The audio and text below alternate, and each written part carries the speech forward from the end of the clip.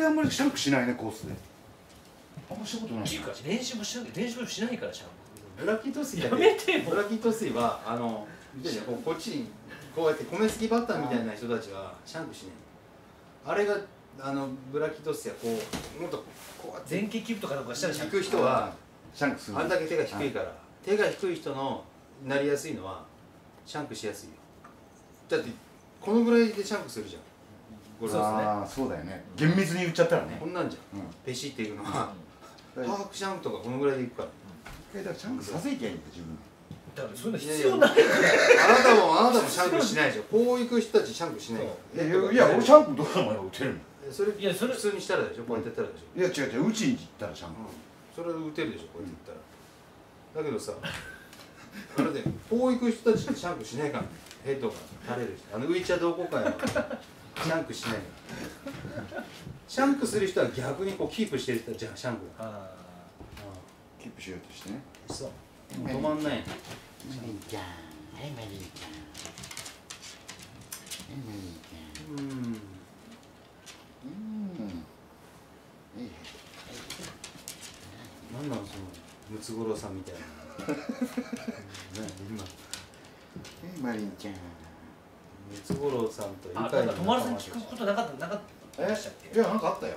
何？どトムに聞くこと。うしたの、えっ、ー、とね。マスターズだ。そうえ違う。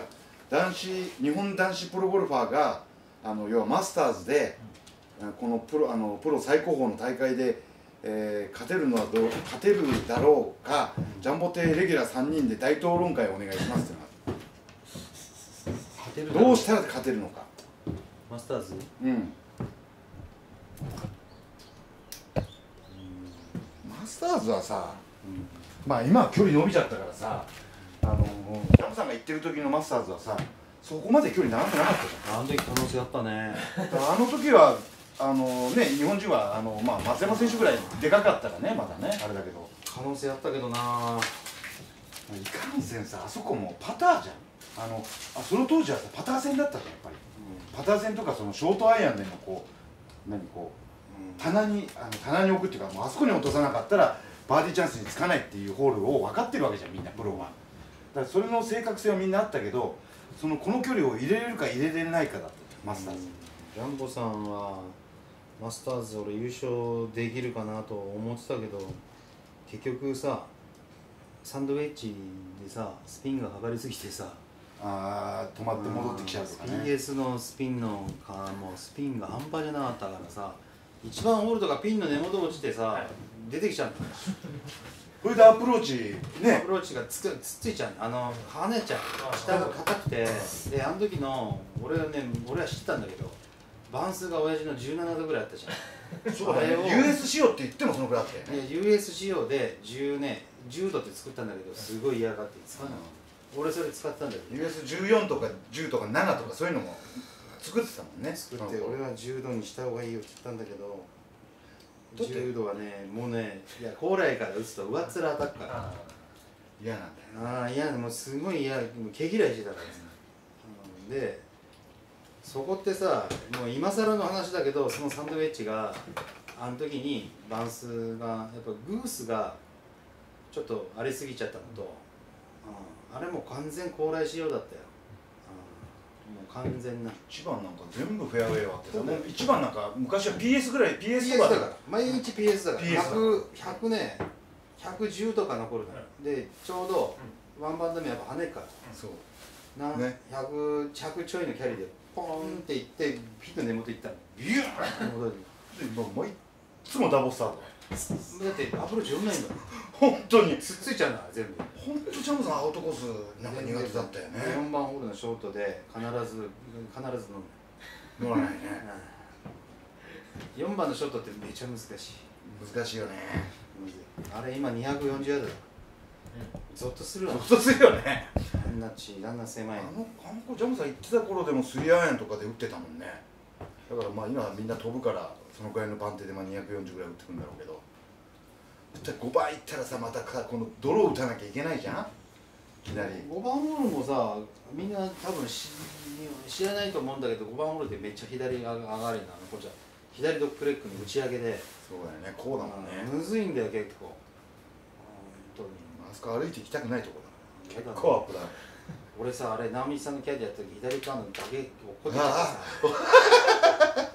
あれさい。や1番2番バーディーバーディースタートしていってさ「えっ?」とかいきなしボードで一番上なわけよ。初出場で出ていって。いきなし初出場はみんないいんだよね。おおと思ってさ最初いいんだよ。すげえなと思って「やべえよジョー。やべえよジョー」って言って。言ってて。そしたら5番でブリッと来ちゃって。そしたら10番もブリッとセカンドブリッと来ちゃって。あれ左行くとあのセカンド左行くと11番のあのティーグラウンドの方までこう行っちゃうんだよ。もうね。あれ10番なんか結構な打ち下ろしだから俺のお前があのあの全否定してるあのダグフックが必要なんだからね10番って。ドライバー打つんだったらね。10番ホールはねむずいぞ。いやほんとこんなんだから。満打ち下ろしだから。あのこういうだ思った以上のあれ気持ち悪い打ち下ろしだからね。気持ち悪いよね。10番ホールとか今いきなし打てって打てない。すんごい打ち下ろしだから。えじゃあ川名で例えると何番ホールぐらいですか？今週やってる。川名のね10あの4番のロングをグリーンから打つからね。そんな感じそんあな感じ。グリーンからこうやって打あそうそうそうそんな感じ。言っとくけど結結構だからつそれで480ぐらいあるからね。まああの打ち下ろしとはいえ。あら気持ち悪い。で11番ホールとかもティーショット満狭だからね。でしかもジャムさんが言ってた時よりも20ヤード後ろに伸ばしてんだから、ね、もっと狭く見えんだよ。もうね左はそこ抜き当たるよあの下手な人。すぐそこ抜きに。あれティーグラウンドから見たらマジで飛んでるみたいな方あの大洗みたいなコースー多いの。あー。狭いあ打ち出う打ち出しっていうか。そうだよね、うん、木太いしね。うんであとグリーンがちっちゃいの。マスターズってねグリーンがね異常にちっちゃく見えるの。本当に。俺15番ホール初めて俺回った時、はい。ここんなんだよセカンド見たらこんなこんなグリーンだよあの薄っもうなんかこんなちびっこい。もうへっぽいなんかもう感じ。すごい嫌なボールだよ。やだホールだよねあのロングもね。ジャムさんもうレイアップしていけなん3回ぐらい入れたことあるからね。バックスピンで。ね。だ結ど局ねんだけスピンかけてるいやあの時ねレイグランデの392とかの時ではい。あれはねなんていうんだろう PS とかが異常にスピンかかったのよ。本当に。あれね必要なかったなあのスピン。必要なかったんだけど。あのスピンのせいであれもうあれが優勝遠遠のいだよ。だって初日トップとか結構あったからね。そうだからねえっ、とね4130とか。アウトコースほんと41とかジャムさん打ってたんだけどアウトコースあのインコースになったら30とか。そう。怒涛のバーディーラッシュ。ね本当インコースだけだったら全部優勝したなそうそうアウトコースなかったらっていう話やしてたよね前ね。アウトコースもさがっつくとさ1番ホールでいつもスタート切れないからさ 2, 2番でさそれ今も取れ2ない。番もさ手前のバンカー入っちゃうとさ寄らねえんだよ。で3番も短いんだけどあれあれがもう跳ねちゃうから全部奥消えていくの。そうだよね必ずオーバーするわ。だってもうこのくらいの縦位置ぐらいしかないんだからグリーン幅。本当に。左サイド。本当に変なグリーンなんでもう右って もうここんなグリーンだよ。あのこんなんだよね。もうもうこんなびっとしかないんだ本当に。ほんと冗談抜きでもう1 0ンチぐらいしかない。本当にない。でみんな知らないけど18番ホールピンしか見えないからね。うんうん。あのセカンド。あの打ち上げで。下からね。見えないからね本当に何何があるんだか分かんない。あれねあれ今こうやって上から撮ってるから、はい。セカンドこう全部見えてるんですよ、こうやって。あれプレイヤーはピンしか見えてない。グリーン面見えないよね。本当に打ち上げ結構な打ち上げだあのねあのアップダウンがね激しいのはね多分誰も知らないんだよね。一体一体と知絶らない。対人したら分かんないよね。俺もキャディアって8番ホールやったらもう8番ホールのセカンド あの川名の4番ホールのセカンドと同じでえ全く一緒でもうそんな打ち上げだからね、うんここに壁があるみたいなあれをだってタイガーイーグルパットやってたもんねあそこの木のとかパッとドローフックかけてすもうねなんで優勝できないかこれから優勝する人いるかまあでも松山英樹が優勝できなかったらもう無理だろうねもう無理だと思うまあでも松山英樹の場合はまだ可能性あるじゃん。普通にレギュラー勝てんだから、うんこれだ。け勝てるってことはそこに標標準が合えばね。合えばの話だ、メジャーに標準が合えばね。でもなんかこうどうしても日本人ってこうなんかこうメジャーは別のものに。大会みたいなね感覚あるけどね。あるよ。アメリカ人はみんなねあのそんなねあの気負いしてないからねまあ気負ってないから。まあ取りたいっていうのはあるだろうけど。あるけどだからトーナメントの一つみたいな。あえーだからケプカみたいな人間が日本人に回られないってあのメジャーに強い人間異常にね。それなんでかって多分あれなんだよ。あのあの難しいセッティングに強いんだよケプカなんかそのなんていうのタフなコースに強い選手なんじゃないじゃああの日本で言ったらトモリさんみたいな。そうジャパンオープンだったら必ずそうそう上位行くみたいなあの今の安原とかねそうそうそうそうそういうタイプなんだろうねうん実際は人を思っちゃういやでも飛んでたよケプカ。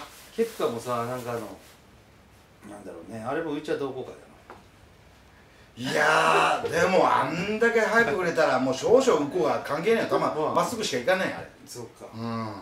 今球振れば振るほどだってアダム・スコット30ヤード置いてってんだよ。だってあの15番のささっきの言ったロングだってさあのー、後ろにしてんじゃんあれ。20ヤードぐらい前から。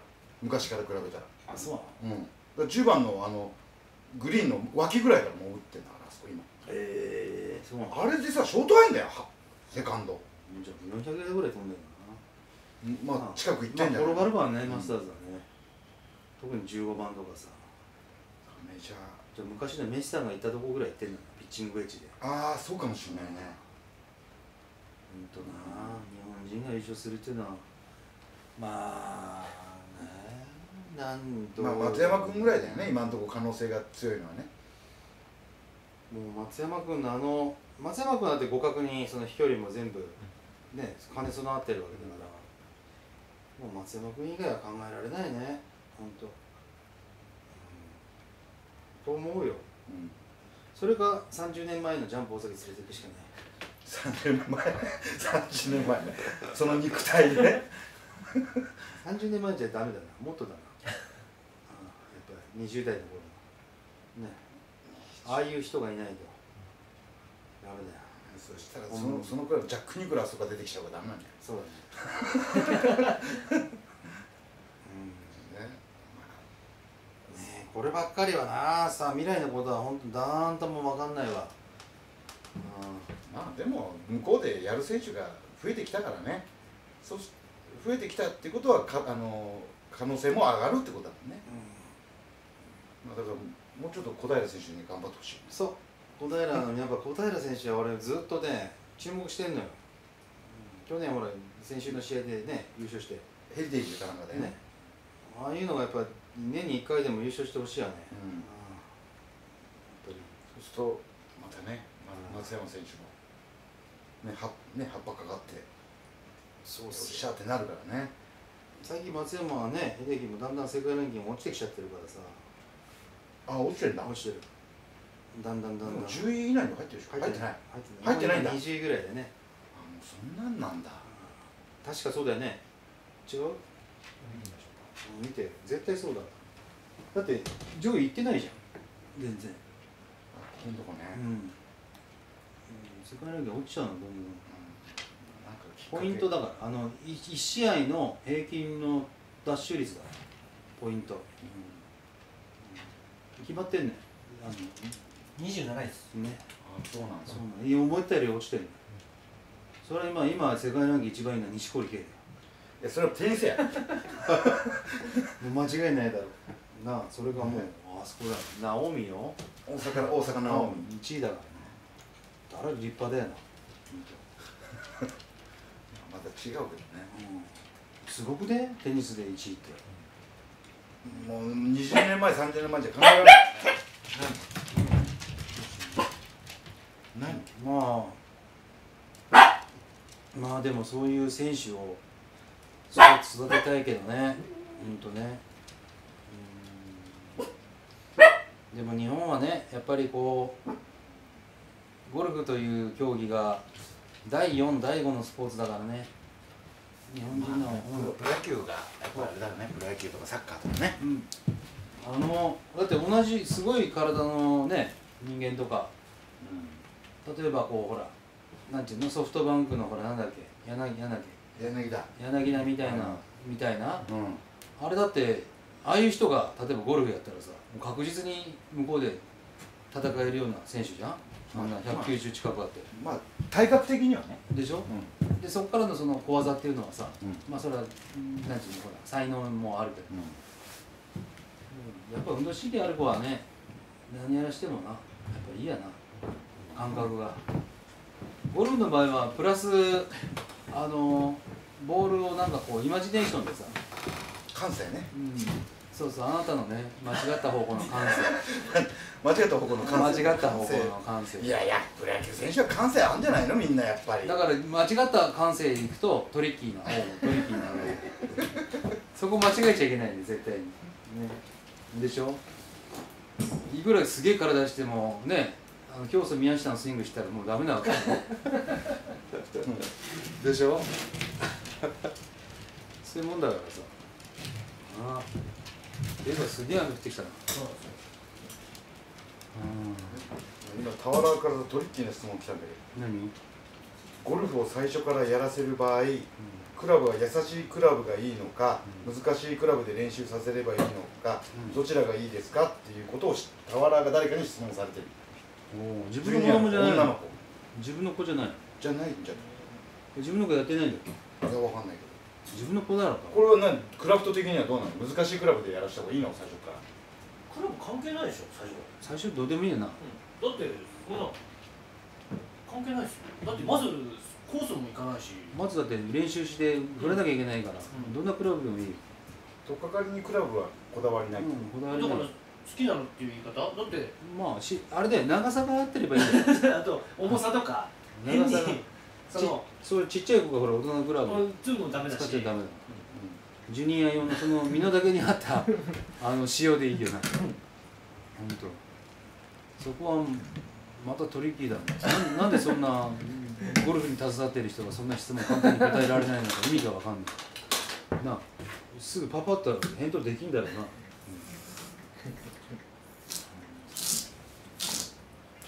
でもそう考えたらあの本当にゴルフ始める人っていきなりクラブわかんないですよ。ねかいそりゃそうだよ。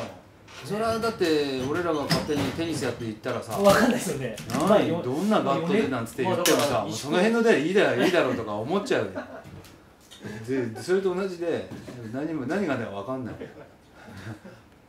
俺はそういやでもね顔はねなんか疑問の顔だよ。いや違う違う疑問じゃないよ。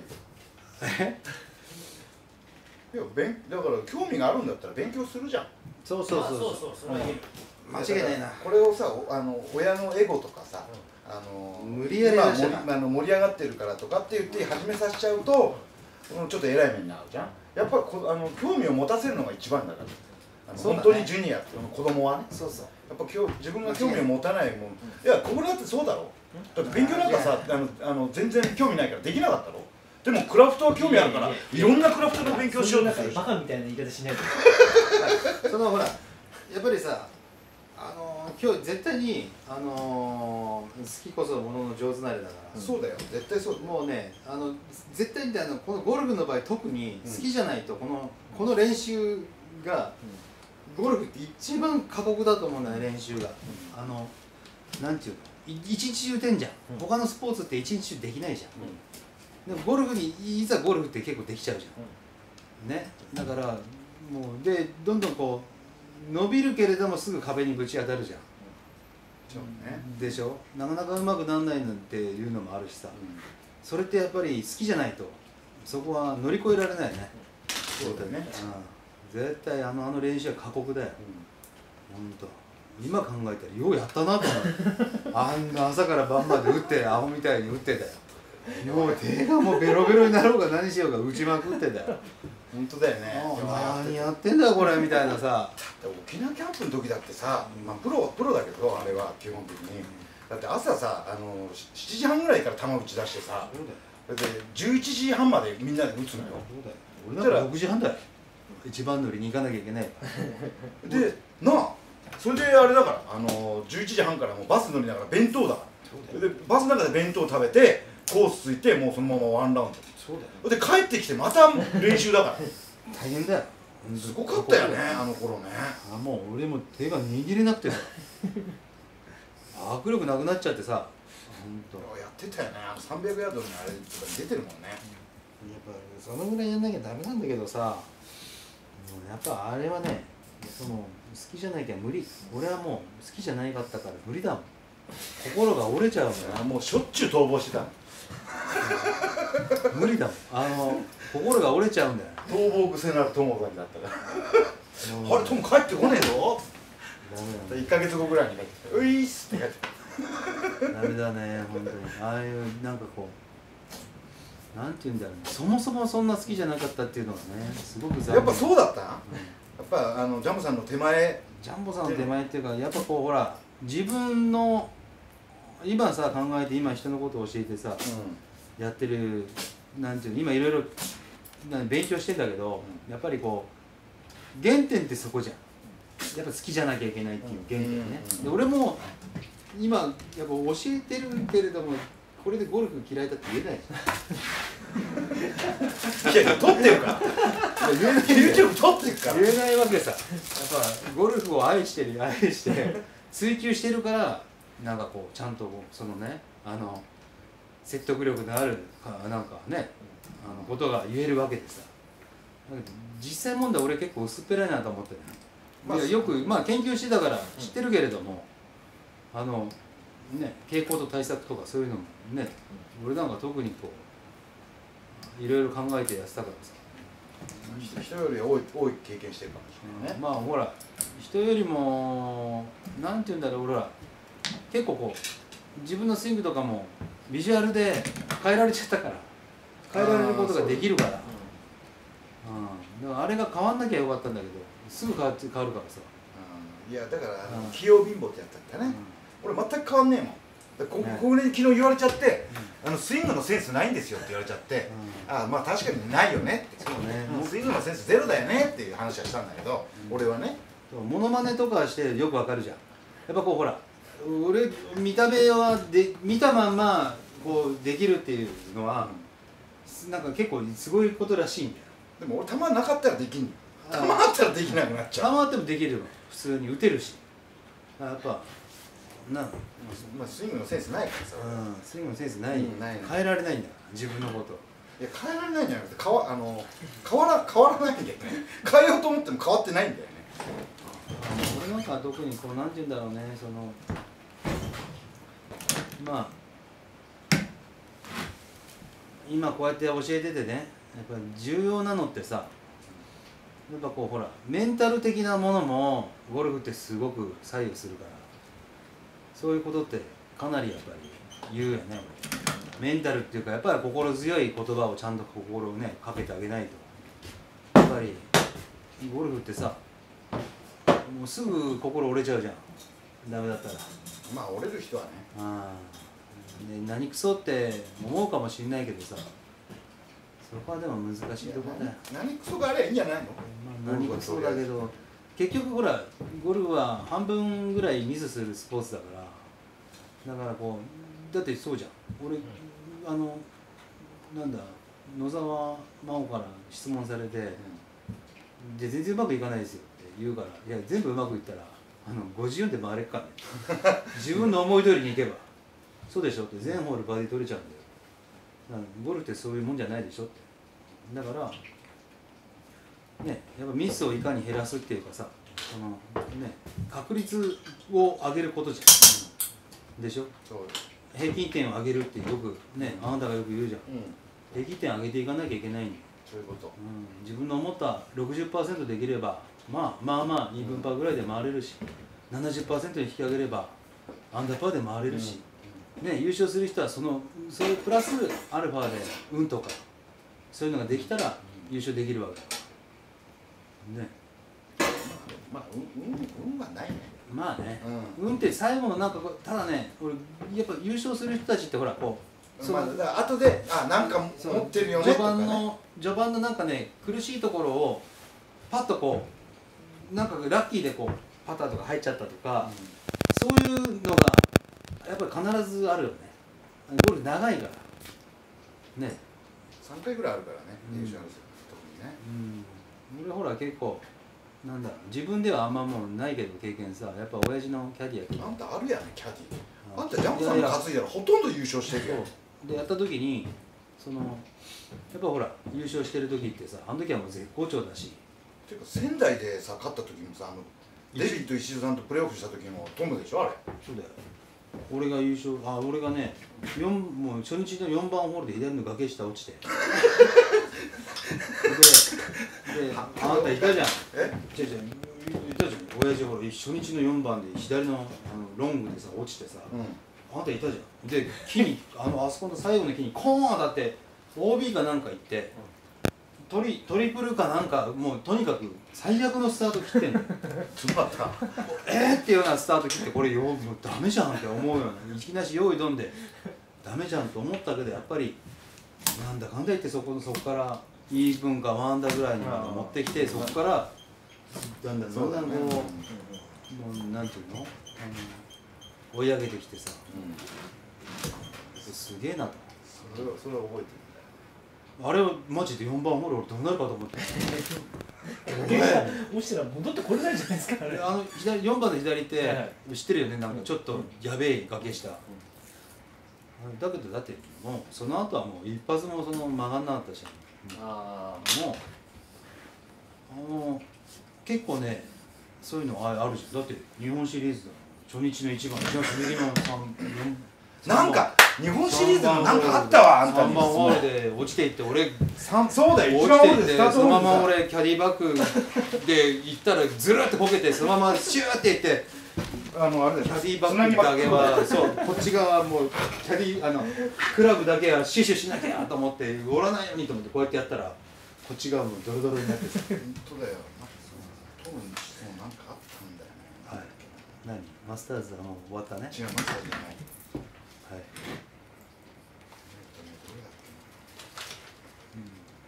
僕ね今ねいろいろいろいろ今研究してるから。あのなんていうの育成のための。だからこうだんだんちょっと変わってきてるから考え方が。け変わってんの？変わってきた。いやいや変わんなくていいやんだトリッキー。いやいや俺はね基本的にトリッキーじゃないだろいや一番トリッキーだよな。この間この間ギター片手に練習場歩いてたっていう動画あげあげるから。何？なギターこう持ってさギター持ちながら教えてるっていう。嘘でしょ。あんなのあれ一番トリッキーだろって話してるのあのちゃんと撮って何それ？あれが一番トリッキーってなだ何をトリッキーって言うんだって言ってたの。なあこれな練習場にギターだからゴルフクラブじゃなくてギター持ってってるっつうんだからさ。でもゴルフはほらもう握ったじゃん自分で。秋入れて。もうさゴルフの火はもう消えちゃったからさ。え僕のギター消えた。いやいやでもさシニアデビューあるじゃん。だのもうゴルフのそのなんて言うんだろう。ゴルフのモチベーションの火が消えてるからやっぱこう教える方のどうしたらこの子は本当に良くなるのかっていうところをうんしっかりとね見極めなきゃいけないなってところと性格もね、うん、何なんですよ。多分マスターズのことだったと思う違う違うマスターズ以外にね何かあったんです。このこのこれこれの昔のナンバーホールでジャンボさんに怒られてましたけどあれが何ですかとかいうのがあったんだよいいよじゃあ。え？怒られ怒られてばっかりだったからもういいよ。何だった怒られることだらけだったからさえーと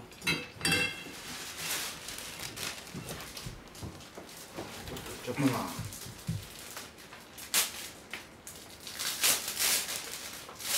何？こっちゃったな。このナパイルにさ質問コーナーでさ。この間ファイルジャンボさんに見られてたからなこれな何やってんだこいつらと思ったよね。そうそう絶対そうです。誰のクラブそれ？これ知り合いの。あれ3本これああそうつるこんなツールテンパツルテンパ